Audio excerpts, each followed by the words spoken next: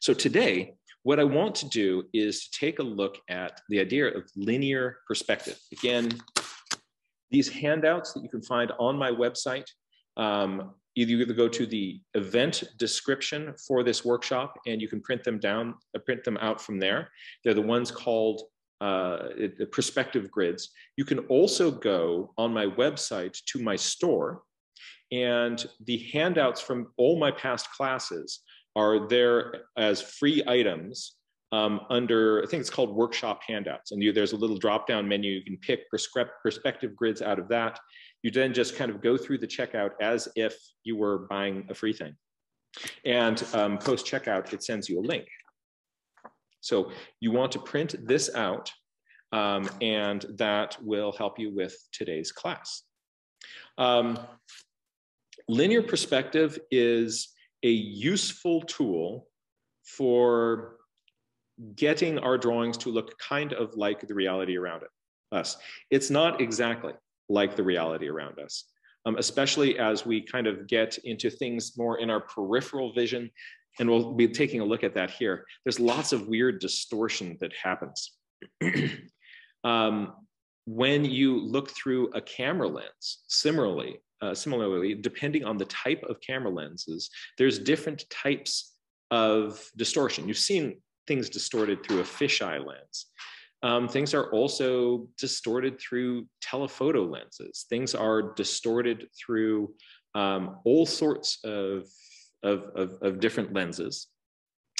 And um, it's actually kind of fun. They're able to look at some paintings by Renaissance painters and figure out that they were actually doing their preliminary drawings through some um, sort of optical devices based on artifacts of pr proportion um, distortion in the perspective. Um, and that's, that's kind of cool. So it's not perfect, but it's useful. It's useful. We, in most of my nature journaling classes on drawing depth, I haven't taught any linear perspective. And the reason is that linear perspective is useful when you are drawing objects with big flat sides. And um, the bigger, you know, like if you're drawing a building with big flat sides, it's really useful. Very, very useful also if you're drawing things where the sides are at right angles to each other, right? And trying to get these shapes to represent on your piece of paper. It's interesting to look through medieval art um, before this was figured out. And there's just crazy stuff, kind of MC Escher style perspective weirdness going on in them.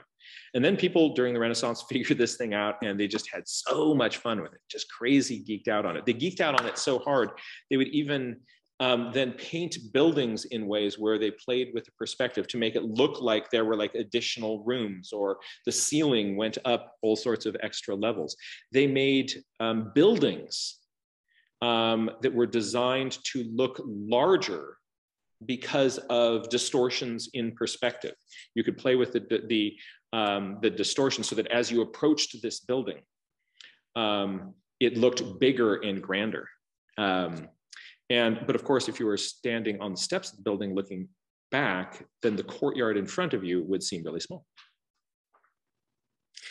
Um, but the reason I don't teach it that often is because there's not that many big square objects running around in nature, right? Um, the Borg have not really um, taken over um, planet Earth here. And so we don't have these cubes kind of, mm, kind of going around in our environment. You're out there by the lake, a lot of this linear perspective stuff is not going to apply. Um, but there are places that it does, and we'll look at some of those. It's also very useful though if there's if there's if there is something with a straight side, um, if there's a cliff, if there is a fence, if there's a road, if there's a barn, um, we will find human-made structures in nature, and sometimes you do find angular things um, in the natural environment. And that's where this comes in useful. So, but again, if you're just doing a landscape drawing, there's a tree over there, there's a squirrel over there, and there's some grass on a little hill, this sort of stuff is not going to be as, as important. There, in a subsequent class, we'll be looking at depth tricks that don't involve linear perspective. Um, but for now, um, let's take a look at this, just sort of remembering that it's very useful in sort of figuring out these cubes. So here's the basic observation. When I look at this from this angle, it looks square, right? That's square. All I have to do is hold it close to the screen and tilt it. And now this side is a lot larger than this side. See that? That's perspective distortion. The side that is closer to you, you see as bigger. The side that is further away from you, you see as smaller. Now let's notice another neat thing. On this grid, take a look at the angle of this. So here, this is parallel with the screen. When I tilt it to the side, notice how this line points up and this line down here now points down. So if I were to, let me get this a little bit closer so we get more of that, that a little bit more dramatically. I'm gonna line this up at the top. Notice how the one at the top is pointing up, the one at the bottom is pointing down. Now look at the lines in the, on the grid on the square and notice that those lines in the middle of the cube are horizontal, but they start to subtly kind of, as we go up the side, get more and more tilted up till we get to the top where it's really up at a steep angle. And we see the same thing going on at the bottom. Right? Um, this, before people figured out linear perspective stuff, this was really hard to draw. Um, the basic idea here is that if you take, let's take this line here, and uh, we are going to extend it towards me here. So it goes up and up and up and up towards me. At some point, these two lines are coming together, I would say about at this point here. All right, so if I'm gonna actually use this, let's say roughly, uh, let's see, uh, kind of somewhere in here, right? So that line is coming down here. This line is coming up there. At some point, those cross. And it's going to take longer, but these ones, this side is also sloping down, and this side here is sloping up ever so slightly. Right? And way off there, off screen, those two lines are going to converge. The idea of the sides of this converging, that's um, what artists call the point where they would converge, we call the vanishing point. And I'm now going to kind of draw this on a piece of paper. Um, and here are some just sort of the some useful thoughts on this. Um, I'm going to symbolize this on, on a piece of paper. Oops. It's not what I wanted to do. Can I still be heard clearly? Yes. All right, um, let's jump over to this cam. Is we will focus. All right, there we go. Um, I'm going to start with a big horizontal line. All right, so here is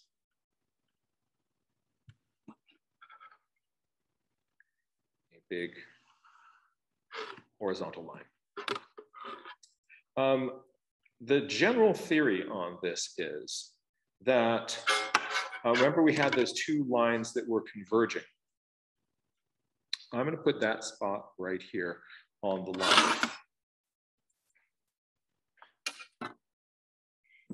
If I draw a line out from this and another line out from this,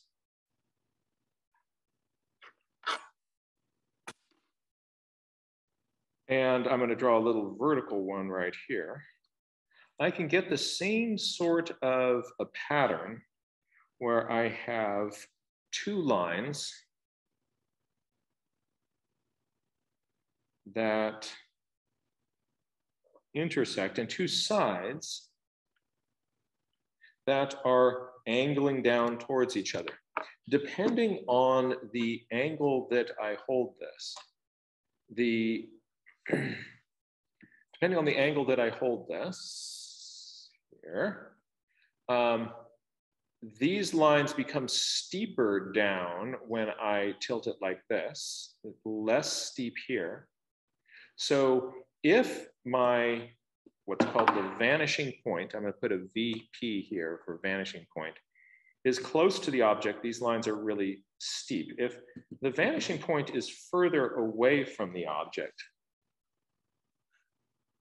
say out here, um, those sides are not as steep. So what I'm going to do is I'm going to draw a little line here to this further away vanishing point. I'm going to draw one here to this further away vanishing point.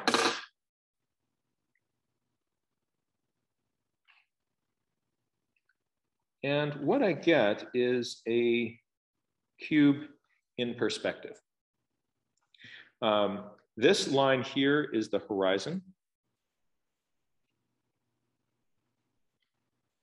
And, oops, the horizon. And this is my vanishing point. This is my other vanishing point out here. Um, with these, I can construct all sorts of interesting things. For instance, if there's those little lines on this, all those lines, they all point towards the vanishing point. So if I wanted to get lines on the side of a cube, I could put lines on the side of my cube. And I could have those get progressively steeper. Um, this is a really useful way of representing these dynamics of three-dimensional space where these lines are all converging at some point way out here. This approach allows me to draft that onto my piece of paper. There are several different styles and techniques. So this is the kind of, just introducing this just to kind of give us some basic vocabulary here. Um, there's several different approaches to this, which we're going to be investigating here. And uh, what we are going to be taking a look at um, is um, perspective drawings with different arrangements of the vanishing points. So I was, I remember being seeing this in a book and being introduced to it, and then playing around with it I started finding that I would make shapes that sometimes like this one and go like, okay, that's reasonable. I, I, I like that. But sometimes there would be these really, really weird shapes that I was getting, and I couldn't really figure out why. There was sometimes this, this perspective approach. Um, I got funky shapes. Well, we're going to find out why that is right now. Um, we're going to start with your piece of paper that looks like this.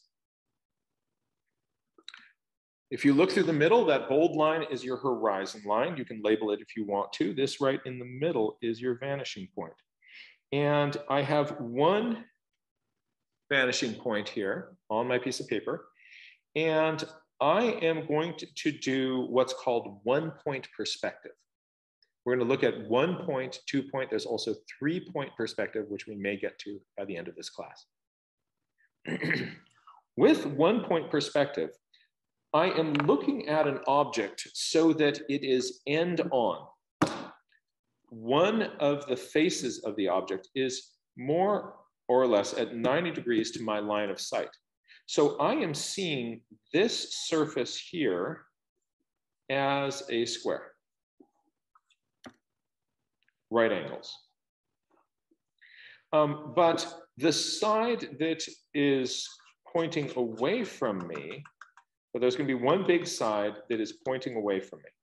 So let's say I'm walking down a street, I'm looking down a street. Um, this is a kind of a, a, typical place that one point perspective is, is used. If you're in an urban landscape where everything is put together on a grid, there are lots of big objects at right angles to each other. Um, you want to draw one of, let's say, the street or these buildings. This is where this approach comes in. But I'm going to start just by drawing a cube. So over here, I'm drawing a cube so that it crosses over that vanishing point. Not a cube, I'm drawing a square. Whoa, earthquake. All right, so there's the square. So there's the face of this thing. Now, one point perspective is the easiest kind of perspective to do, but as you're gonna see in a moment, there's some kind of weird distortions that kind of creep in. But it often is very, very useful. Um, what I'm gonna do is I'm going to, from this corner here, just follow back along one of these lines and follow down along another one of these lines to the same point and put in another vertical there. And here is my little cube. So it looks like I'm seeing this surface flat on, this surface I'm seeing at an angle. What if there was one down below us? Let's put one in here. All right, here is another one. I'm going to draw a square. I'm going to draw a rectangle over here. I'm going to put at, sort of oriented at 90 degrees to this, just several shapes here of different sizes.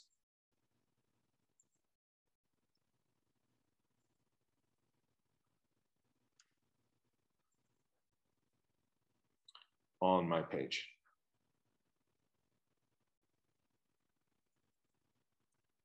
And what you can do is do the same on your page. And it's kind of fun. You just sort of find what are the angles that kind of go to the corners of these. And you then draw your lines down. Now, this is kind of fun. Take a look at this one. Actually, I'm going to make one that's a little bit more clear. I'm going to do another one that is right over here. Yeah, there we go. Look at this. I can come back from this corner. I can come back from this corner. I can also come back from this corner. So here I'm actually seeing three sides of this. Here I'd see a little bit at the bottom.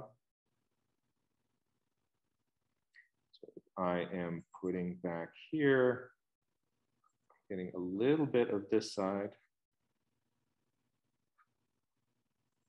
You can see that having the grid already made for you makes this really fast and fun.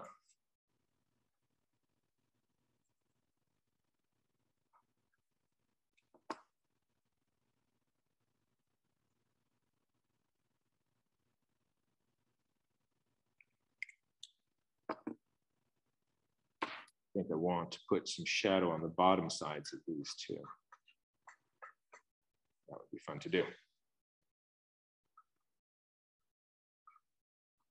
That's one point perspective. So you might imagine, um, well, here's this landscape with all of these cubes floating around in it. Um, but how does this apply to other sorts of things that you've seen? Well, imagine that you are by a road and you are looking down that road past this big cube. That road recedes into the distance. Um, next to the road, there are fence posts.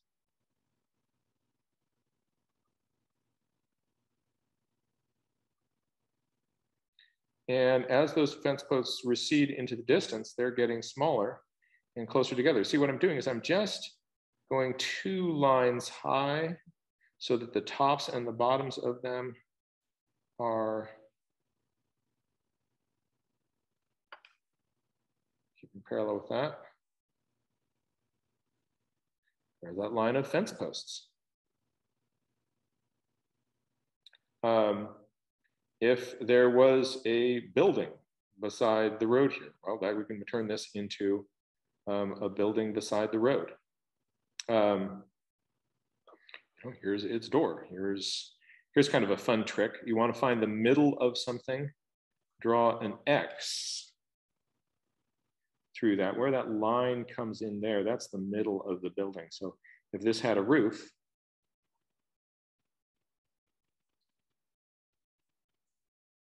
it would be like that, and that roof then is going to I wanted to find the middle of this face of this building that is down here, if I wanted to put, say, a window right in the middle of it. But take a look, let's say we wanted like, I mean, this, this trick with the X finds the middle of this. It also finds the middle of this. Isn't this cool? Look at that. So the middle of this is actually further down here. So if there's another door here, it would be over there. So that's just kind of a fun trick. Just again, you want to find the middle of any rectangle, draw an X through that rectangle. You've just found the middle of it. If that rectangle is foreshortened in any way, you can find the middle of it by drawing that X. That is where the middle of that foreshortened rectangle would be. So if this um, house had a door right in the middle, that door would be right there.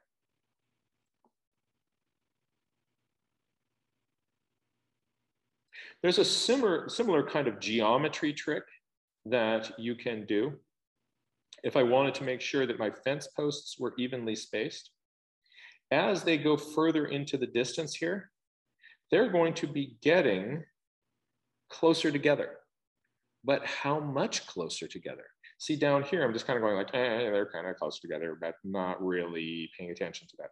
These ones are kind of progressively getting, but if you wanted to actually um, construct that, take a look at this. Here is an object. Oh, Jack, uh, could you please lower your page a bit? Ah, thank you. So I'm going to turn this page over and do this here. Here is an object. And here is another object of the same height next to it. If I want to put one more object over here at exactly the same distance, right? Um, you'd say, okay, measure this distance and put it over here. I'm actually not going to do that, and I'll show you why in just a minute. What I'm actually going to do is find the middle of this. Draw a line through those two. So I made the letter H. Now, if I draw a line from this corner to this corner, that will be the same length as a line going from this corner down here, or from this corner to this corner.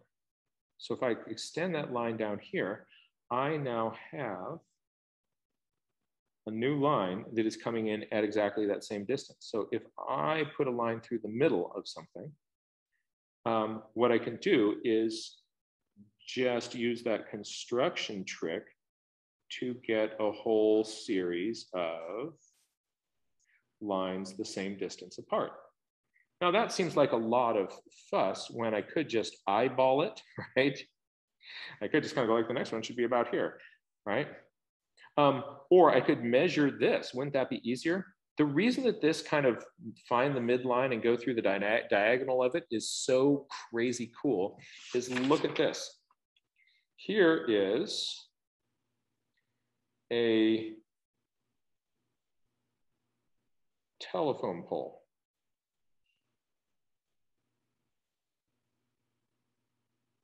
Whoops, Sorry about that a bit.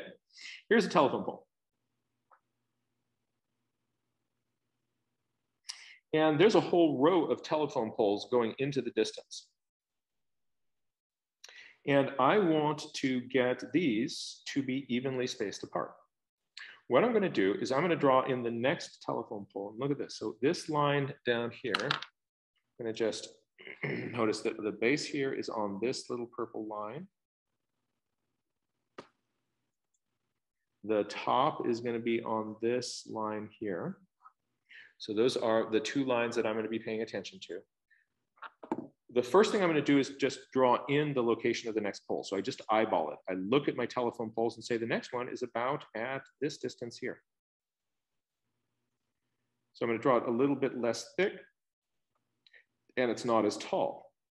So the next one, should I put it the same distance down?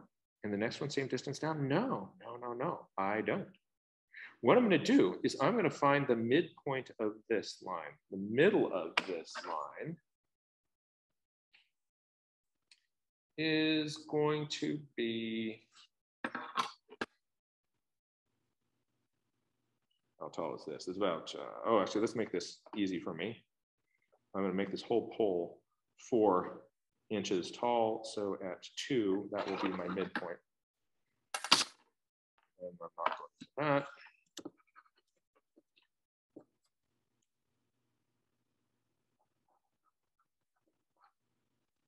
All right, so this is halfway that distance of that pole. I'm going to draw in this line here at that halfway point. So I've got my halfway point line going in. And look at this. Look at this craziness. I'm going to draw a line from this corner of this square through here. And I'm going to continue that straight down here. That's the position of my next pole.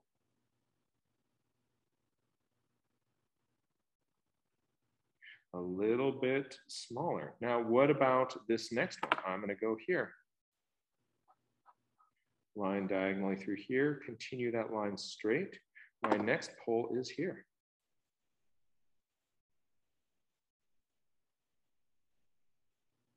You don't have to do this all the way down the line because eventually they get small and they get further apart.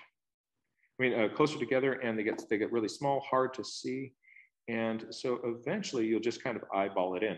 But if I wanted to construct that, isn't that a kind of, a, that's a fun way of doing it. That little diagonal line through the center point and then project that down to those converging lines, you get a whole bunch of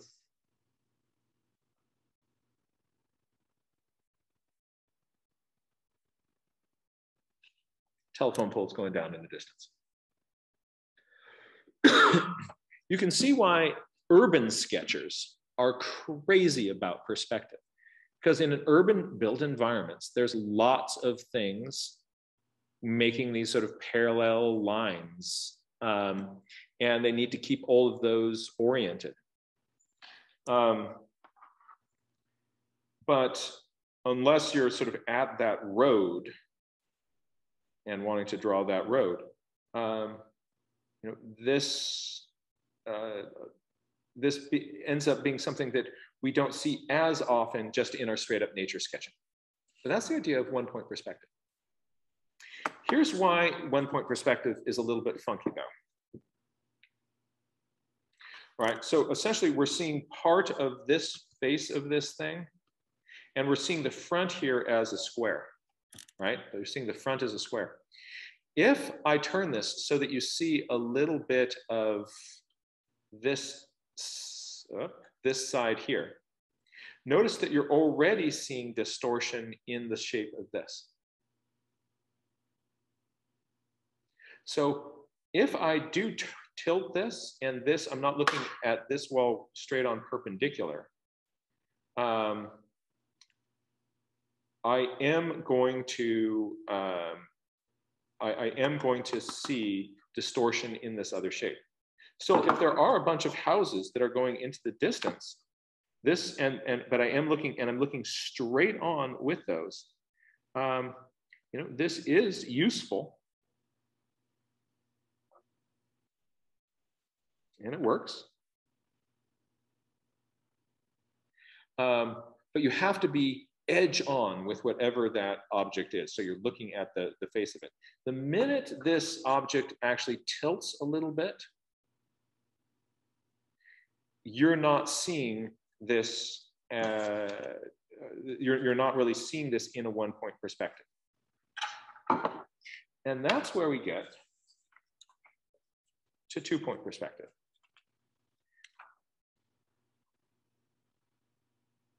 So what I'm going to do here is at first it just, it looks like this overwhelming spaghetti, right? Um, but what I'm going to do is I'm going to draw a vertical. And I'm then going to follow one set of lines that goes towards one of these vanishing points in this direction, another vertical.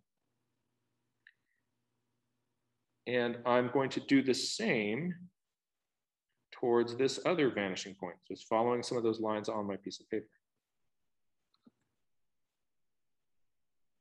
If something is more in the center of these, so this one, notice that this side is receding more quickly because it's closer to this vanishing point. This line, these ones are receding more slowly because it's further away from this other vanishing point. An object that is right in the middle between those, if I make an object here, we're probably going to see these two sides being uh, the same.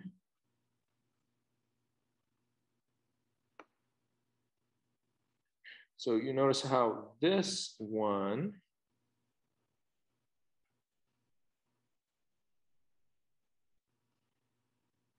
angles which we're going off towards those vanishing points are similar because we're right between those. So I can put in a number of different shapes.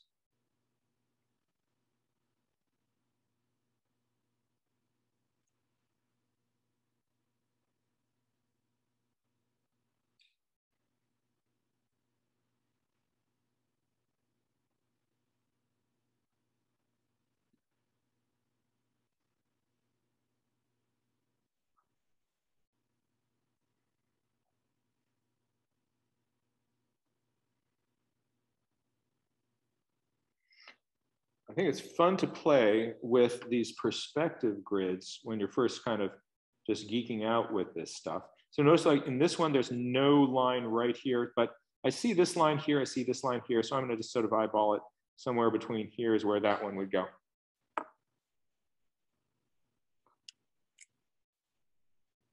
So the sides of these objects are receding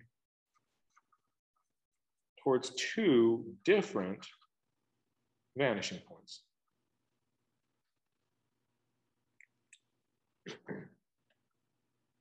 Now, the next cube that I draw, or the next rectilinear shape that I draw, is going to look really distorted. It's going to look funky. And this is where um, I, uh, something that often confused me about um, perspective drawings. Like, why was I getting like these weird shapes? Like this, these look legit.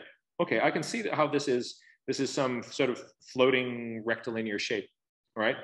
But I'm going to make one close to the bottom of the page here, and I'm going to maybe right here. There I go. If I make one down this far, look at what I get.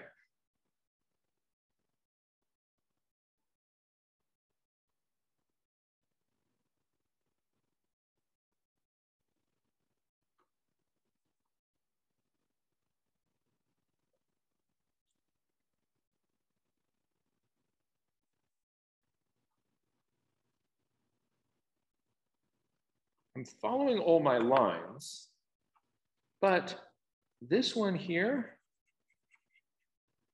has got this really extreme point pointing down here. Like this one looks like, okay, yeah, this is, look at this. I'm following my lines right. But this is looking really funky to me. And the reason is that, um, or I, actually, um, the, the, the, reason is that I am, um, the further I get up or down from these, the more these kind of these sorts of distortions are going to start to happen in my perspective drawing. And so in this core area here, it's going to work great. But the more that I come out here, you're going to see these kind of crazy distortions.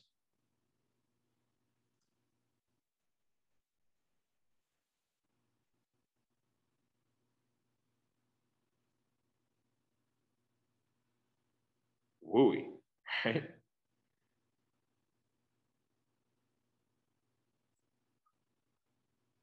I want that to be more of a vertical, sorry.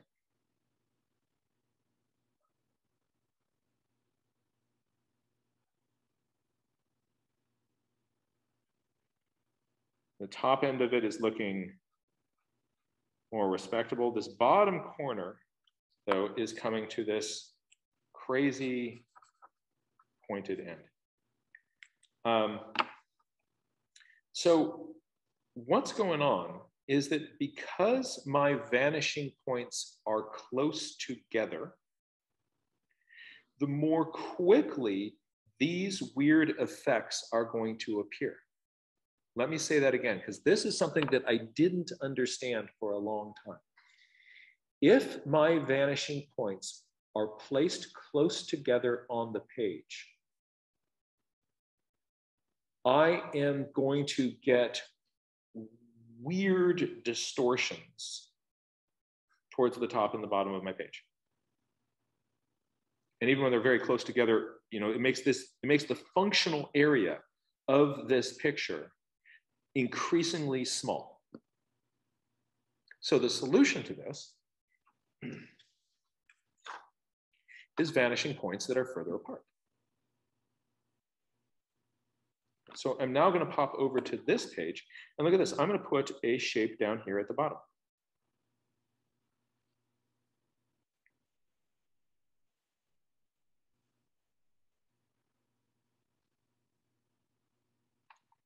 Look at that. You see how this one behaves much better than this one. Isn't that interesting? And all we did is we pushed those vanishing points further apart. Nobody ever told me that. And so the functional area of this one is this whole area in here.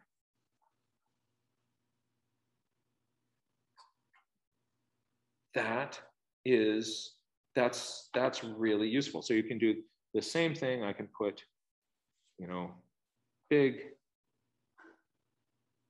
small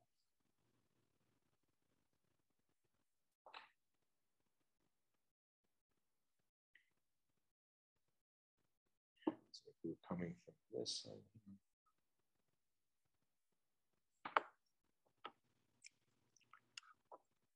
So within the functional area, this is working well.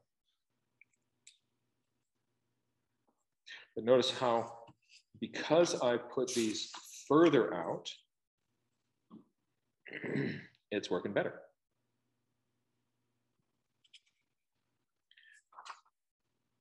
This sheet, the entire page is a functional area.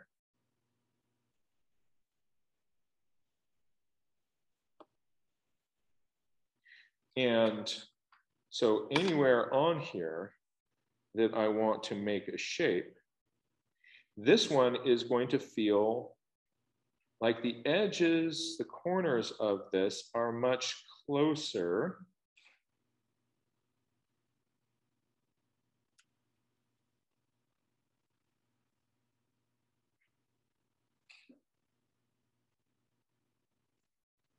look at that one.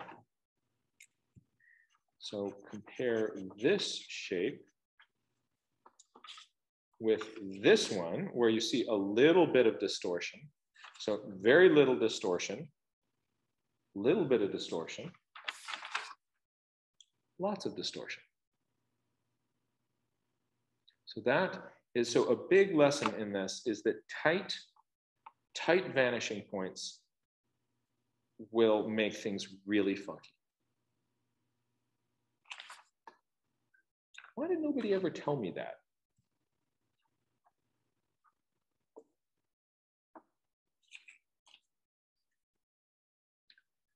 An arrangement of vanishing points that many artists find extremely useful is this.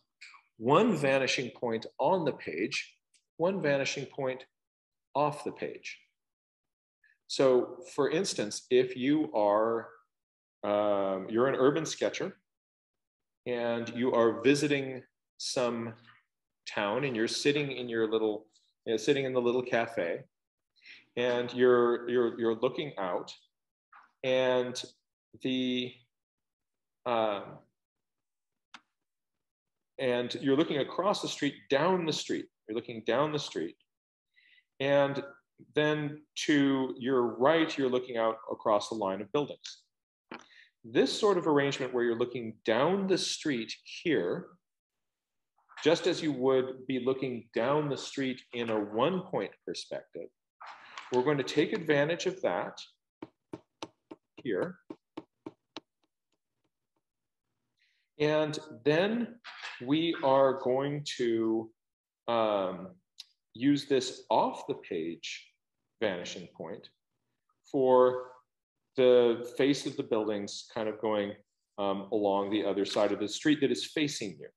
If it's not directly facing you, which most often it won't be, right?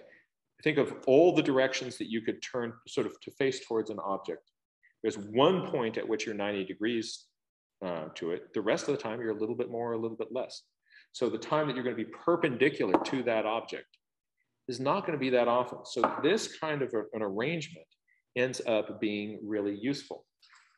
Um, so here is a, just sort of an imaginary street.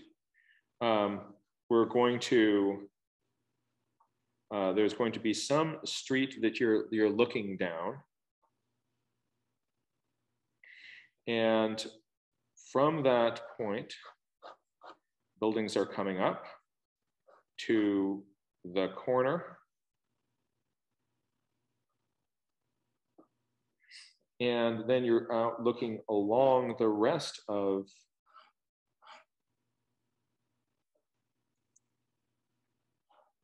the street.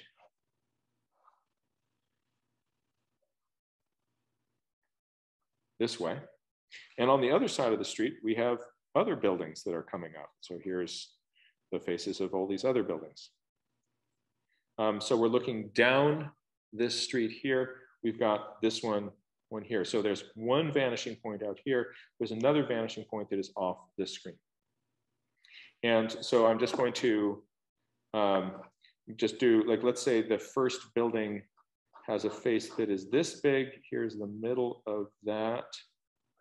Um, that means that the next building, its face will be about that big. The next building, its face is going to be about that big. Okay. So um, here is uh,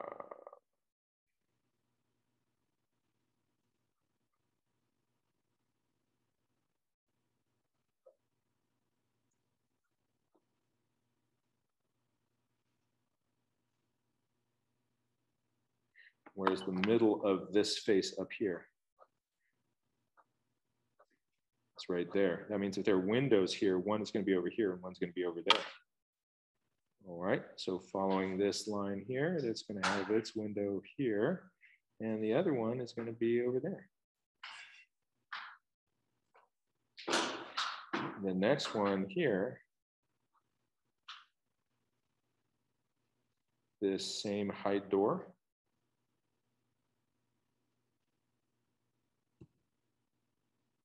There's another building that is down here.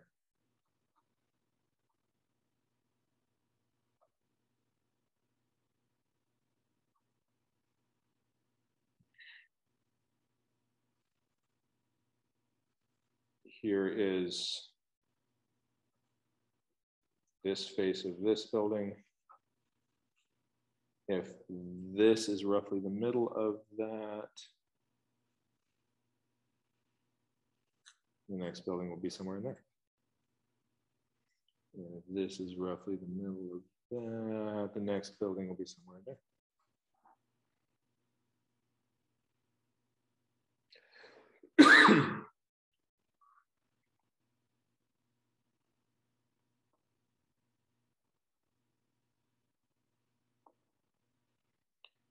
the other side of the street.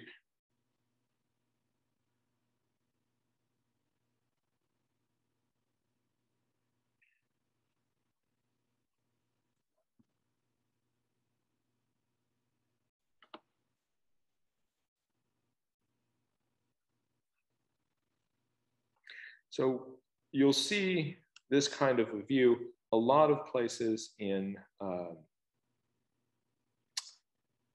in, in, in urban sketching, a, a really useful visualization. Something that this doesn't take into account is that as if I'm down here and I'm looking up at the building, this is this is a really tall building. I actually am going to see a perspective distortion. The top edge of this building is actually going to look smaller than the side that's closer to me because it's way up there. So just sort of imagine that you're looking up at some building, you're looking up at that surface. The side that's further away from you is going to be smaller than the side that is closer to me. So this perspective view is ignoring that. This perspective view is ignoring that. And um, if the buildings are really tall, then that gets to be sort of something where, where we want to start kind of paying attention to those sorts of things.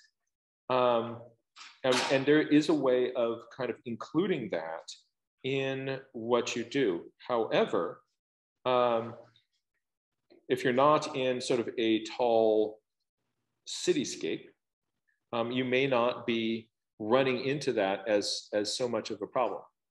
And um, this last one where you're sort of thinking about how would this side change? So you'll see that lots of very successful drawings are done with just two point perspective like this. They're not thinking about how much, how these things are gonna get smaller as they're kind of going up away from you. And the reason is three point perspective gets really confusing. So here, there is a vanishing point above your head. So I'm going to turn this paper here like that. Bring this up here. This is the vanishing point above your head. Notice to fit these all on the page here, I have, these are pretty close together. So that means I'm gonna have kind of a limited kind of functional area in here. Um, but the, but I wanted people to sort of to see how these lines kind of project from these, these different, th these distances. So I can have a box that is really tall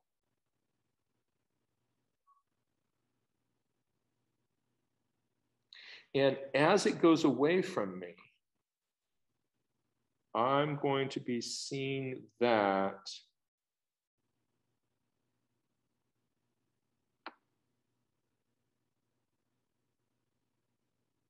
getting smaller.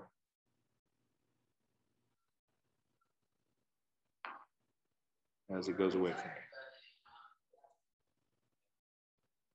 me. And if that box, let's see, give myself a few kind of were to continue, even up higher,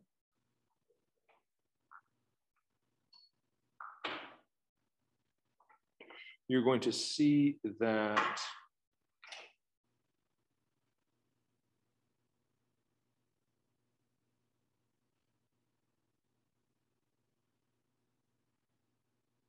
distortion beginning to happen as we're getting in here. So here's this corner. This one wants to point towards here. So we're going to come like that. Oh, so here is this big thing.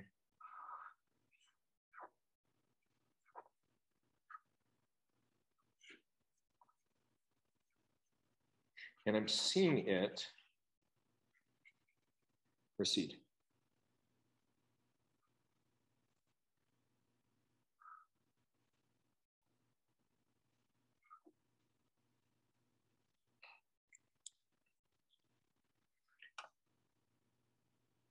This is three-point perspective. And you can see why a lot of people don't use it. right? Like, ah, there's a lot going on here. Um, but this thinking about things receding towards vanishing points understanding that the closer that those vanishing points are to each other, the more distortion you're going to see. Um, we can see how this helps us kind of get something that kind of looks like the reality around us.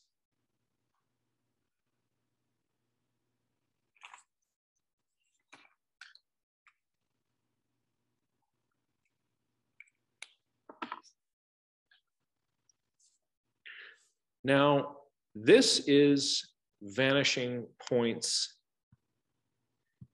in theory.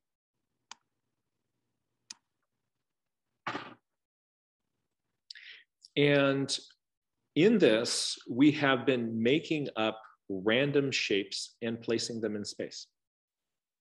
What I recommend you do between now and the next time we meet is to create a bunch of random shapes floating around in space. Right? Um, and we're not yet worrying about it. There's that barn at that particular angle. And we're now, what we're, we're doing at the start is just messing around with things receding towards vanishing points. Um, so we're just for, now, just think about it. I'm going to construct some shapes with vanishing points, right? And I'm going to put these around in the shapeosphere. And I'm just going to be noticing that there's kind of the useful area inside of these vanishing points. And once I get outside of that, yeah, not so much, right? I just want to be observing that. I want to be playing with it. And so printing out some of these sheets and just creating creating the Borg universe. Um, it's fun. It's fun to just sort of play with these. And you also, to make it more fun for yourself, if you get yourself a little Tombow marker and can just sort of draw in some shadows on one side of the things, then they just look like, ooh, you know, it's fun to do. Um, an, another thing that you can do if you want kind of a cool effect on your shapes so I'm going to jump over to the cam again. Um, if you have, you know, some shape drawn like this, um, there's kind of, it, it looks kind of graphic and neat if the outside edge of this has a bold line all the way around, then your drawing starts to look really kind of a lot of architects will do that just where you have kind of a hit line on the outside edge of things. And so if you do that, the thing kind of then starts like, like look all kind of architectural cool. Right. So you can have fun with this. But at this point, don't worry about that there is a particular barn out there. When we meet for our next class, um, what we're going to be looking at is there's going to be a shape in front of us. And we're going to look at that shape and then each shape, each time you turn the shape, the locations of its vanishing points are going to shift. So where the vanishing points are is going to depend on how this cube is rotated relative to your viewpoint. And so we'll look at for that shape out there, how do I figure out, oh, that one would have a vanishing point here, and the other vanishing point is going to be off my paper. Right? And um, if you, between now and then, have had a chance just to geek out with this stuff,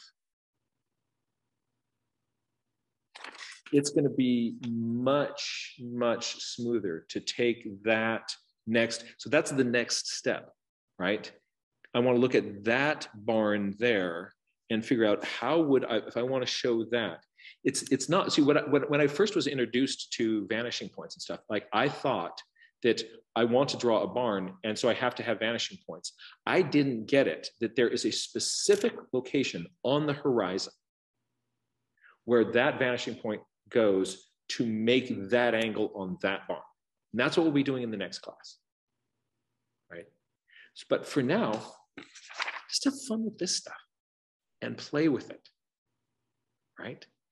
And um, and I, and I think that you're going to find that this then combined with the next one, yeah, we can do that. I hope that this was useful for you. I hope that this was fun. Um, print these out and mess around with them. And just remember when you get outside of those vanishing points, they don't work anymore. So if you're trying to do something up in this space up here, um, uh, uh, here it's, it's going to get really distorted. Um, if, you know, for instance, on this side of the street, I can use this vanishing point, but because I have passed over where this one is, the vanishing points for these buildings is actually going to be over there somewhere. Right. So once I this vanishing point is useful from here to here to here to here to here to here to here to here. Once I get to here, that vanishing point, you don't you can't have two vanishing points reaching in the same direction for your line. Right? So the closer you get to that point, the more you're getting like okay. But I hope you have some fun with this. And thank you for being here. These workshops are supported by donations from viewers just like you. If it's possible to make a donation to support me doing this, I greatly appreciate it. It makes a big, big difference to me and my family. Um, and if that doesn't work with your funding and finances right now, I want to encourage you to keep coming, keep enjoying these workshops. They are, they are here for everybody, and I want you here. But see if you can pay it forward in a different way with an act of kindness or stewardship uh, to nature somewhere in your area an act of kindness, an act of stewardship makes a huge, huge difference. So just do something beautiful that you otherwise might not have done and keep coming to these classes. And I really look forward to seeing you here. Let's jump over to our community cam. Actually, first I have to check my lunch ticket. Lunch redeemed between noon and one. That's not going to work out for me. So you know what? we can stay here as long as we want. Lunch is over here at Asilomar. Um, so, but um, but I think isn't was isn't I mean pers- the, these perspective ideas are are interesting, and um, would love to hear your thoughts and feedback, and take a look at some stuff that is going on in your journals. Um, Oopie doop. I'm now going over to the gallery view. Um, I'd love to get your perspective on this. um, and uh, uh, comments, thoughts, ideas, or page shares from um, anyone and everyone are welcome. All you have to do to share is hold your page up to the screen and I know you've got something to share. You can also use the raise hands function. Um, and would love to hear from you. Hey there, Jack. Good to see you. Um, I am going to add you to Spotlight. Jack, how are you doing, my friend? Good. Um, I didn't do any nature journaling yesterday, so I don't have anything of that to share, but I did do my drawings for the infographic thing. I would love Um, to see it. So I did a leopard lily and a western swallowtail butterfly. Here is the western swallowtail butterfly. Ah, oh, everybody, check this out. Lo- Love this this saturation of colors um, and the symmetry. And you also drew this butterfly in the live position. Sometimes people will overspread the wings um, because they're drawing them the way that um, entomologists spread the wings on dead butterflies. But this has got the butterfly in life position, and that saturation of the colors, uh, really lovely.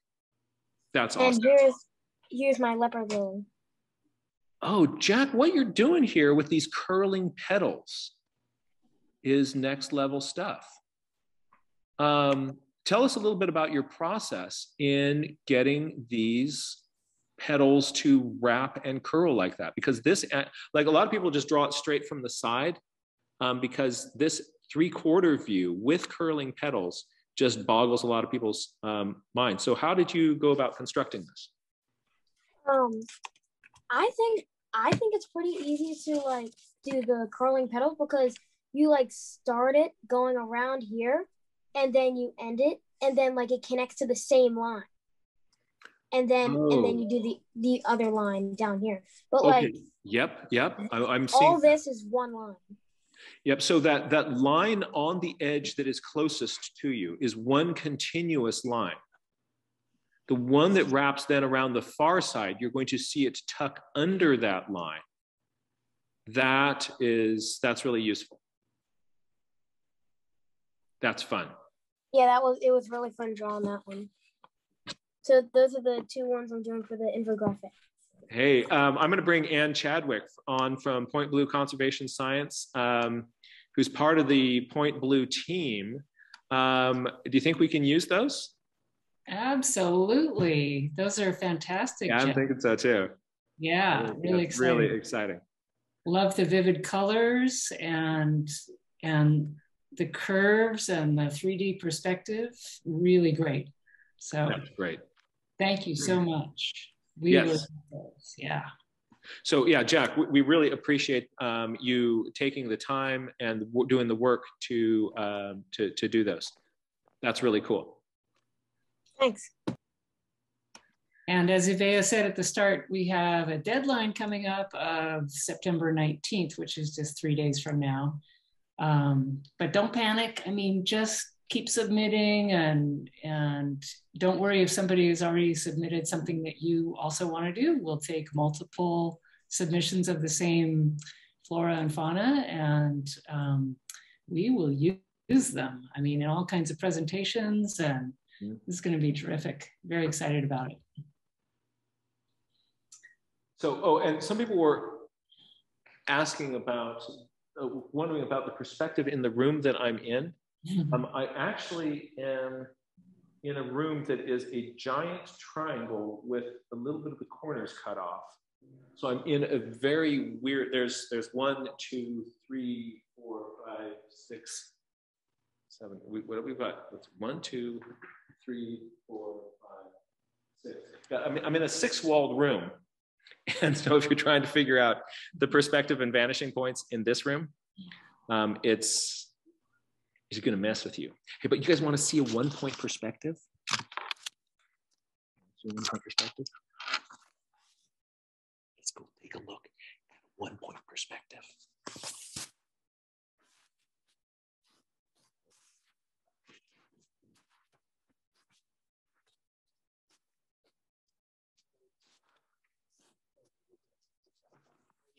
Oh, almost. Can I speak loudly in there or speak in there? Um, uh, not, not, not, not, not quite yet. Right, check that out. Yeah, so go ahead and, and follow. Where's your vanishing point, everybody? direction. Oh, Um, there's your vanishing point just walked by. Once you're. So your vanishing point would be at the height of your eyes. Were you standing at the other end of that hallway? Isn't that cool? Yeah, so.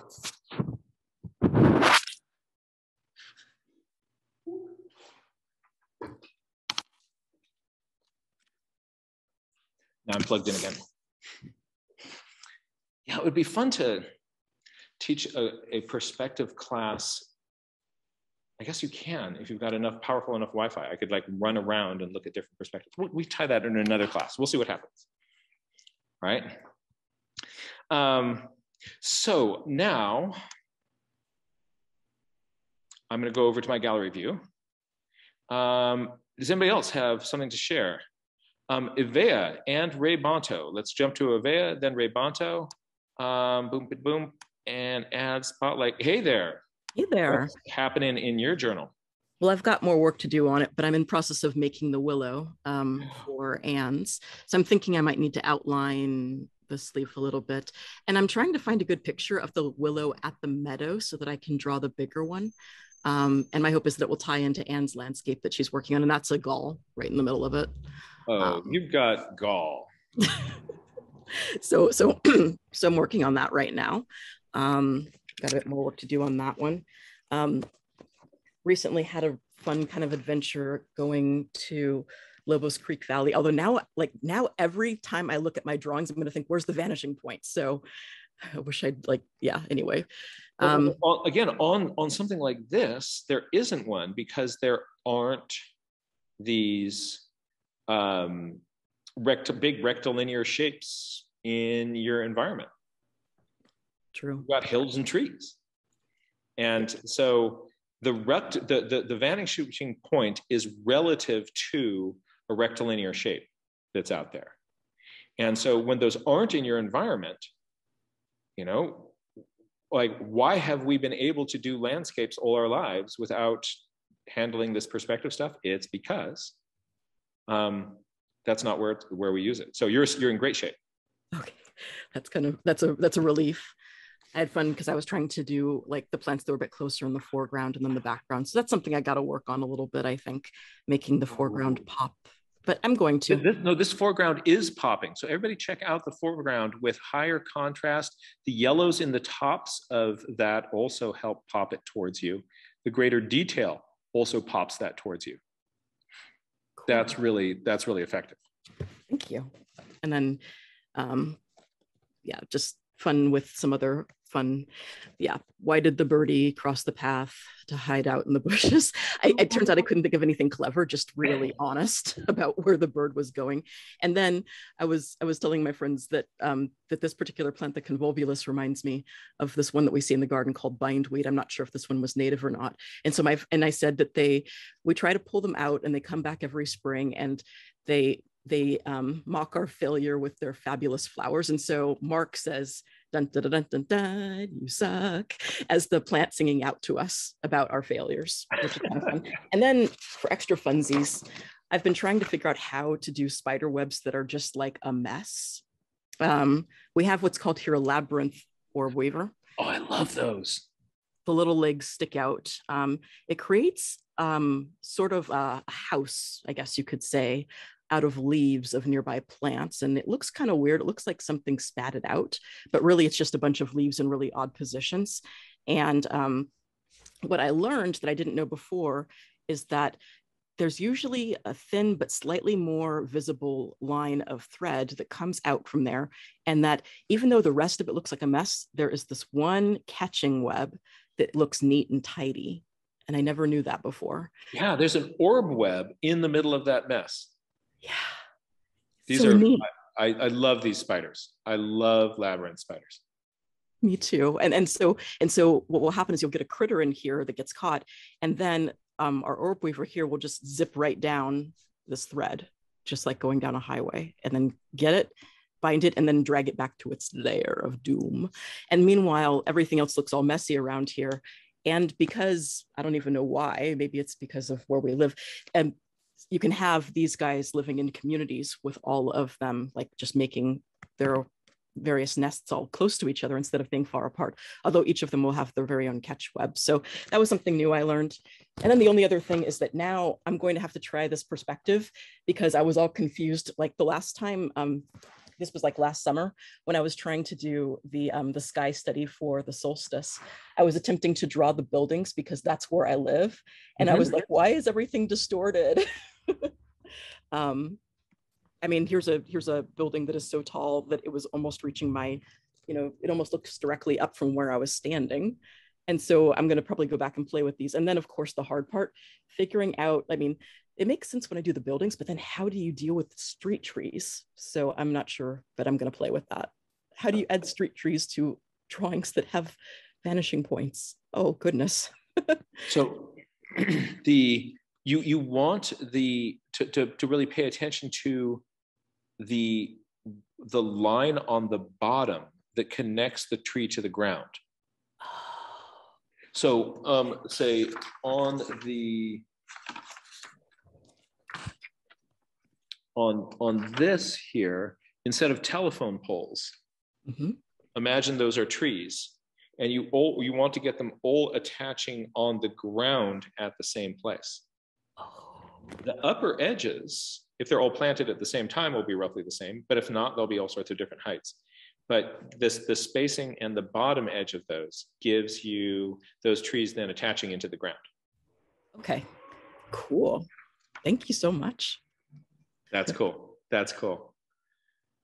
Yeah, and and also, if you're in one place, you know, looking around, and um, so you're looking down this street, then down that street over there, and there's a building and it's a different angle. Each one of those objects, again, that has, and that's what we'll be getting into the next class, each one of those objects that's at a different angle has different vanishing points. So if there's a whole block and all the houses are parallel with each other, they will all have the same vanishing point. But the minute there's you're looking at that block over there, it's going to be at a different angle. It's going to have its own vanishing points. So me in this room with six walls, each wall is at a different angle, actually. Is it? Is that one? The, yeah, each wall in this room.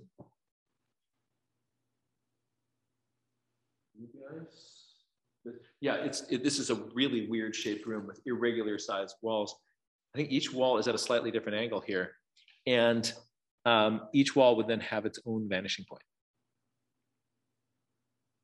So yeah. since we can only see half of the room from where we're sitting, does that mean that we can that we would be able to see sort of three vanishing points because we can only see just you and three walls? So yeah, right now that one behind me, you're kind of looking at it face on. So I would probably to make things easier, I would, you know, if, if I'm looking at it at a tilted angle, then it is gonna have its have, vanishing points. But I would probably make it simpler by thinking of that one just straight on, and then the, that wall, this wall here, it's coming to a vanishing point, vanish, vanishing points over here somewhere. That wall there is coming to vanishing point over here somewhere. Cool. That's really fun. yeah. So yeah, this I'm I'm in an odd sized room. All right. Um, uh, let's jump over to Ray Bonto. Gallery Ray Bonto is there. You are uh, Ray Bonto. Good to see you. Hey, what's happening in your journal? Hi. So this was uh, I went crazy today. So this was the two point perspective. Yes. And, and look at the distortion. Isn't that cool? The distortion when you kind of get down to those lower ones, you really just start to see more of that, like, like, whoa, that's just not feeling right. Um, and so it's fun on this to notice where we get the distortion and where we don't. um, one point. Oh, fun. Yes. Look at the people. So all the people's heads at the same height. Yes, absolutely. So yeah, that, Oh, that yeah, um, I, I actually was, was- sorry, what? go on. Go, you What- go. Okay, I, I was saying that um, along that kind of line of the people thing, today I was out at the beach and I was standing on a beach out here at Asilomar. And I, one of my things that's really fun to do when you are on a big flat surface and people are at different distances, um, I got to a place where I was close to the water's edge. So that meant everybody else that was close to the water's edge was at roughly the same height as I was. And so when you look down the beach at that angle, um, let me see here. I'm going to change. Oh, I unplugged my camera. Um, you notice how all the heads are at the same angle on Ray Bonto's picture. I'm going to add myself into the spotlight and I am going to bring this up. What you'll see is that the person who's close to this is when you're looking out at the ocean, the horizon between sky and water, that's right at your eye level. And so a person who is walking down the beach towards me here, here they are. And, you know, the, there's the water levels. A person way, way, way down the beach, head at the same height. And here's their body. Here's another person. So I was seeing this cool effect where all the heads are at the same height and all the feet are at different heights relative to where they are. Person way down the beach there. And that's because if they're all standing, all of our eyes are at the level of the horizon.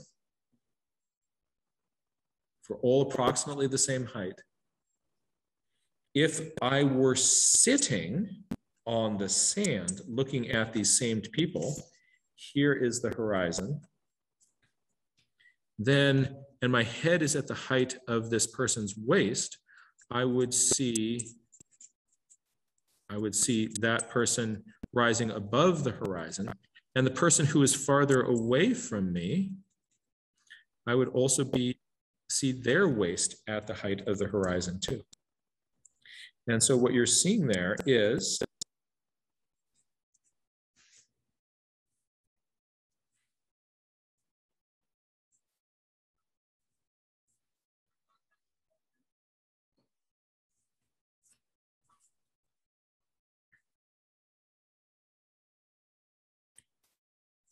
Isn't that cool?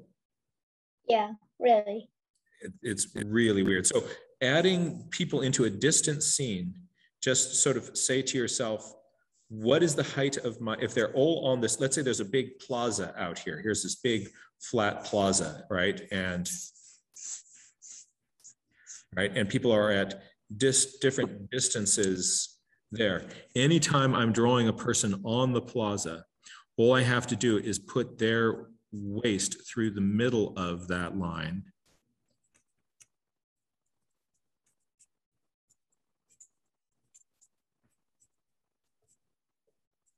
So that the, the horizon intersects them at the same point. If I'm standing up, it's going to be at their head height. Here's the person even closer to me.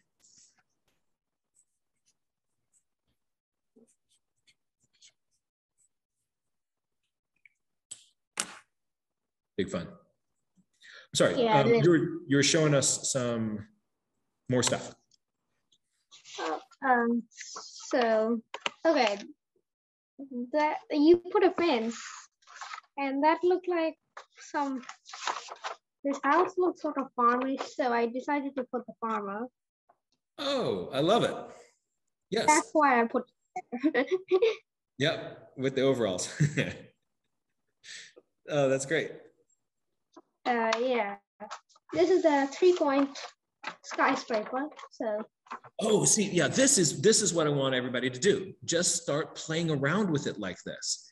Exactly like Ray Bonto is doing here. Just get these sheets and just start messing around with it. And your brain's going to intuitively start to kind of, oh, I see what we're up to here.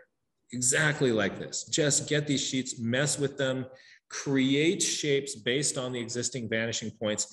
Later on, we will figure out where vanishing points are for real objects. Hmm. Now, I decided to do some weird, weird things. Good. Um, with the vanishing point in the page and uh, no, the vanishing point two point further out on the page. So I decided to draw some telescopes for some reason. But yes, yes. Oh, and look at the people. Look at the people. This is cool. This is fun. Love it. Yeah. And so the, the tops of them, it, it really kind of feels like you're constructing shapes in space.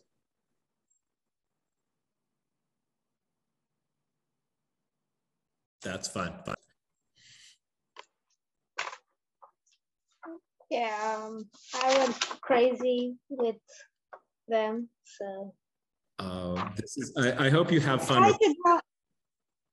I tried to draw Sphinx, but it didn't work out very well. yeah, yeah. For for for that, especially if you're looking at some reference material of the Sphinx, you'd want to first figure out where are that Sphinx Sphinx's actual vanishing points. Oh, uh, br- bring that last page up again. Right. So notice um, the the the one that is in the what I'm seeing here as the bottom right hand corner. Um, the one that is directly below the vanishing point. Notice that that one looks crazy distorted. It's distorted for two reasons. One is that it is um, close to the bottom of the page, and these are uh, vanishing points that are close together. The other really funky thing about it is that once it um, once you pass that vanishing point, you can now no longer use the vanishing point on the other side of the page um, for um, figuring out your, your angles.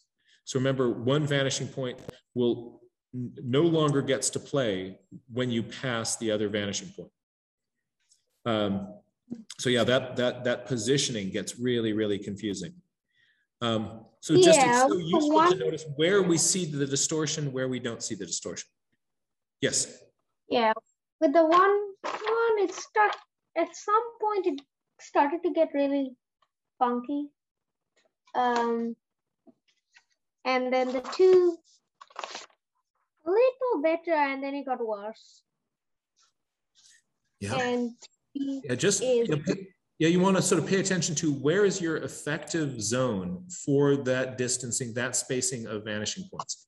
For vanishing points there, what are what is the area inside there where you're going to be able to make things work? Where does it not work? Oh, show us your block diagram. This looks exciting. To make this into an infographic. That's all. Oh, yeah. Oh, this is a great idea. I like how you're showing the, um, I like how you are showing the, the stream also in a section view, that your river on the bottom kind of cuts through there and you're seeing alongside it.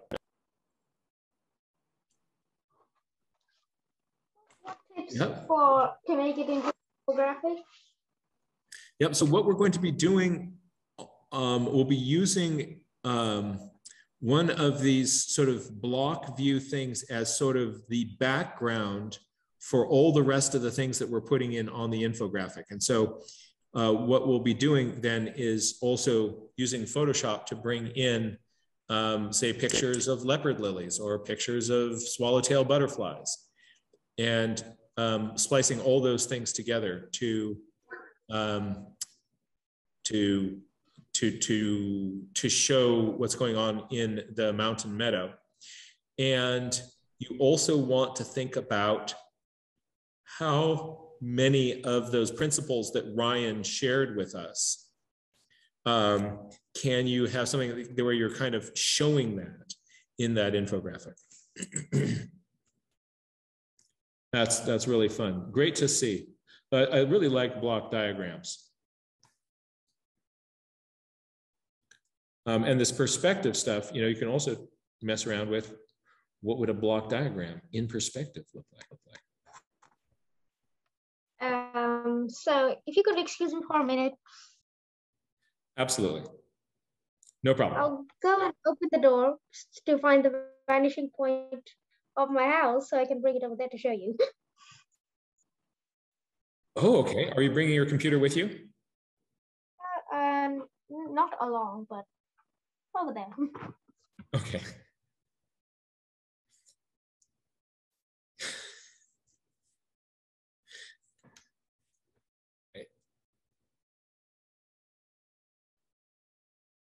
You found a vanishing point? Okay. Yep. So when, when we're sort of squared up with the wall, yep, we're looking down. You can imagine when um, you're, you know, a line cutting from the corner of one doorway to the corner of the other doorway, right? And um, that those lines point to the vanishing point, which would be at the height of the camera. So um, they'll be talking more about this next time we meet. But that horizon line is a projection of the height of your eye, or when you're looking through a camera, the height of the lens on that camera. That's cool. Yeah, so start yeah, start looking for vanishing points. Start mm-hmm. trying to find like what where do where do I'm in spaces that I'm sitting in, where am I seeing converging lines? What does that look like? Um, I'm going to have to end this call shortly because other people are going to need to use this room soon. Thank you very much for, for sharing that. And I am now going to just sort of bounce over to gallery view, see if there's anybody else that uh, wanted to share something. And um, I'm going to jump over to Tracy, and then I think we are going to have to wrap um, because I need to make this room available for other people. Hey there, Tracy. Hello. I have COVID. Oh, so, I'm so sorry. Um, well, here I am. I'm past the major days, so and I'm I'm doing okay. I'm miserable. I'm separated from people, but tell tell us about what your experience has been so far with that. If you feel comfortable talking about that. Um, sure. I was already struggling with um, lupus flare-ups and a sinus infection. So all of a sudden, I just really felt much worse. I was just laying down, and I also got the uh, vomiting, bathroom stuff. And then just was that in the bed, that in the bed. And I was like, I think I need to go in. I, th- I think I'm getting worse. I really didn't think I had COVID, but you know, first thing they do is they test you, and I had it. Um, in my state, Illinois, it was very hard to get the monoclonal antibody treatments, and I ended up going to Wisconsin to get it. And um, have been doing moderately better. I also think that on top of it, I have allergies and they're just sort of wrapping together. Um, maybe your wife has some advice as to like now I'm I'm actually on day 11. Um, so in theory, I'm not making the virus, but if you have a compromised immune system, I've read that you may not get over it as fast in terms of you're still um, contagious as well. And I've been like, should I get tested to see if I'm clear to let things in our house loosen up or me stay isolated or you know just to get some advice and i i don't know um my illinois doctors are I mean, they just won't see you until you go to the emergency room once you're sick. Is pretty much how that's played out. Um, but my breathing, other than this nasal stuff, has been okay. And as long as my breathing's okay, I think I'm okay in terms of I'll just get better slowly. Um, And I'm not, and had, had you been previously vaccinated? no, I had not. Yeah. Um, I really hope that that, um, the, the, the respiratory symptoms keep down and that we don't, that you don't have any long-term effects from that. Just how scary. Um, well, Yeah. Tracy, we're all, uh, we're, we're all sending you our, our, our love and support. Thank you. Yeah. Um, the, that sounds, sounds really, really, really rough. Um, um, if, if you want, I could set up a conference call between you and Sibel. Um, I would appreciate that. Okay. Um, I will be home this evening, probably pretty late. Um, but if you send me an email at johnmuirlaws at gmail.com or johnmuirlaws at johnmuirlaws.com, Okay. um, we'll we'll we'll set that up, and um, you can just sort of have another um, another doctor's perspective on it, and Yeah. uh, we can we will we'll, we'll set that up. I'm so so sorry to to to to hear that you had that you're experiencing this. Yeah, I I guess I've had a health challenge life really since I was about 18. So um it's kind of another rung in the ladder, I guess. Right. So um my thing has been sandhill cranes this whole summer. Um I did this after a feather that I found. And then I one day I was dri- they come very close on the road. I've walked within two, three feet of them because they just kind of hang out near us. We have a lot of ponds and lakes. And I noticed that one will raise its wings to protect its other friends and mate and children. So that's what I did here. Um, And on, on that feather, the part of the feather where I guess is that gel pen? Yeah. um, Right there on those sort of downy parts, really just, um, it just adds a lightness to that, especially that against that dark background, really effective. Yes, thank you. I mean, all these techniques come from you, and it's fun to put them into practice. Um, also, the cool thing I noticed was that the shaft starts out like clear and milky, and then it it turns dark, and by the end at the tip, it's a dark brown. Oh, that's interesting. And I really wanted to capture that detail.